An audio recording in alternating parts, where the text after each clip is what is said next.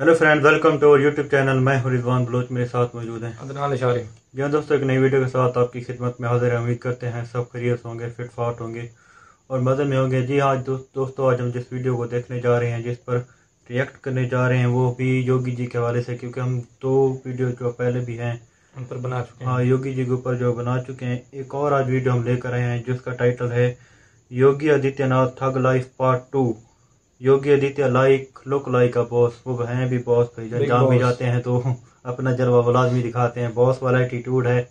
आपको पता है वो जिस तरह की गुफ्तु करते हैं जिस तरह उनका बुला जब वो लगते भी बॉस ही ही। हैं तो वीडियो देखते हैं दोस्तों उसके बाद जब इस पर बात करेंगे। शुरू करते हैं। Indian political world. अब तो इन लोगों में इतनी भी हिम्मत नहीं रही कि लोग स्वयं आंदोलन करने की स्थिति में हो क्योंकि इन्हें मालूम है अगर तोड़फोड़ और आगजनी करेंगे तो इनकी प्रॉपर्टी को भी जब्त करवाने का कार्य करेंगे। तेरा बाप लाइक और शेयर ठोक दीजिए महाकाल का। लाइक और शेयर ठोक दीजिए। अब इन्होंने क्या किया है? अपने घर की महिलाओं को चौराहे चौराहे पर बिठाना प्रारंभ कर दिया है। बच्चों को बिठाना प्रारंभ कर दिया है।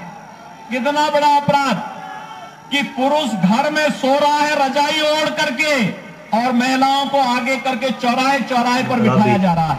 हाँ आँख बंद नाक बंद खोटा खोटा बात बंद बनना है तो बाप बन छोटे थोड़ा शाप बन चार जन जब करेंगे तेरी भारत को बदनाम करने वाले लोग अपनी वास्तविकता और अपनी औकात को भी समझेंगे। एक बार जामा मस्जिद के इमाम ने पाकिस्तान जाकर के देखा था जब कुत्तों की तरह उसको दुत्कारा गया था वहाँ से तो उसी प्रकार से यही हाल इनको भी होंगे। आतंकी ऐसा कह रहा है?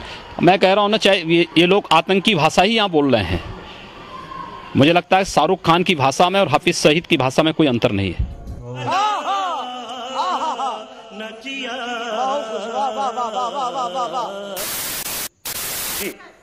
मैं पूछना चाहती हूँ अंजुमानी जी ये आदित्यनाथ योगी जी से कि ये हिंदुस्तान पूरी दुनिया में साधु संतों, सूफियों और औला, औलिया अल्लाह और स्वामी विवेकानंद जी के सांझी संस्कृति से पहचाना जाता है।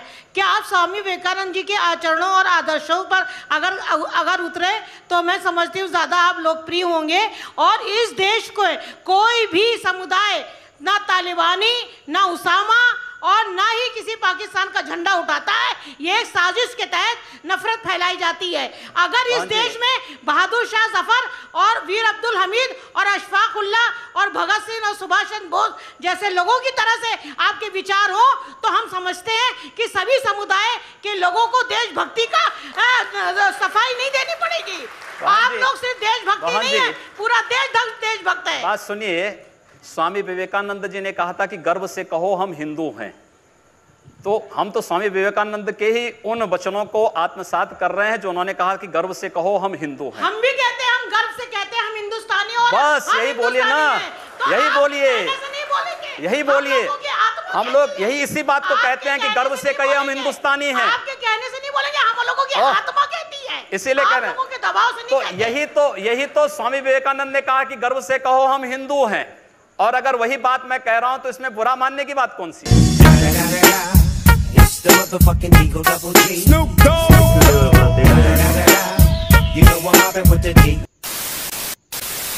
चाहूँगी मुस्लिम औरतों के तलाक का मुद्दा आपका मुद्दा नहीं है ये हम मुद्दा लोगों का मुद्दा ये है देश का मुद्दा है। आप पूरे देश की महिलाओं देश का मुद्दा है। आप पूरे देश की महिलाओं के आरक्षण की बात करिए उनको राज्यसभा में विधानसभा में अरे, वो मिल ही जाएगा। विवेकानंद जी वो तो मिल ही जाएगा। मुझे दुख होता है कि लोग धर्म को व्यापार बना रखा है। जिस तरह व्यापार है। अपने लाभ और हानि के लिए लड़ता है इसी तरह धर्माचार अपने प्रचार के लिए लाभ और हानि में लड़ते हैं। ये ये ये जो है ये व्यापार नहीं है। मुल्ला और मौलियों को समझाए कि तीन तलाक के मुद्दे पर फतवा जारी करें और एक बड़ी मुस्लिम आबादी को न्याय दें। हर घर भगवा छाएगा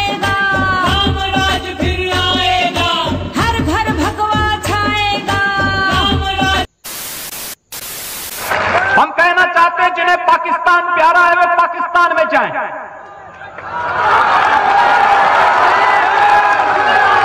जिन्हें पाकिस्तान अच्छा लगता है, पाकिस्तान चले जाएँ। हम उसको रोकेंगे नहीं। अगर वो चाहेगा तो उसको जाने का किराया भी मुहैया करा देंगे। हम पूरी व्यवस्था कर देंगे। लेकिन ये नहीं हो सकता है कि भारत के अंदर रह करके पर्व और त्योहार के नाम पर इस देश की संविधान की व्यवस्था को, देश के संवैधानिक व्यवस्था को कोई चुनौती देने का कार्य करेगा तो चेतावनी हमें स्वीकार्य नहीं। हम उसका जवाब उसी भाषा में और उसका जवाब जिस भाषा में वो जानेगा, जिस भाषा में वह उस सीखना चाहता हो, जिस बात जिस भाषा में वह अच्छी तरह समझ सकता हो, उस भाषा में उस जवाब को हम देना जानते हैं।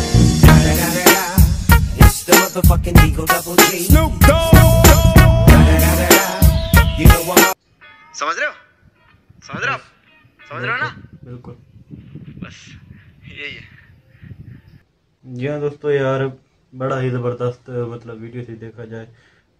बहुत अगर देखा जाए तो क्रिटिकल इशू तो हैं जिनको जो है अगर देखा जाए तो योगी जी डिस्कस करते हैं। जैसे कि तलाक का इशू था उसके अलावा उनका एक वादे मौकफ था कि जो पाकिस्तान से प्यार करते हैं। पाकिस्तान पाकिस्तान चले जाएँ और उसने तंजिया ये भी कहा कि उनको किराया भी देंगे हाँ किराया भी हम उनको दे देंगे।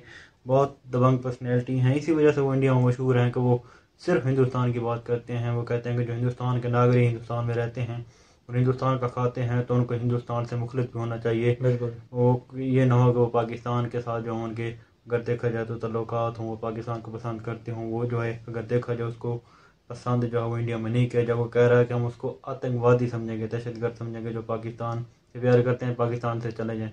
उनका हमारे से कोई लेने देना नहीं है। और तंजिया ये भी कहा कि किराया भी दे देंगे, ये बड़ी बात है।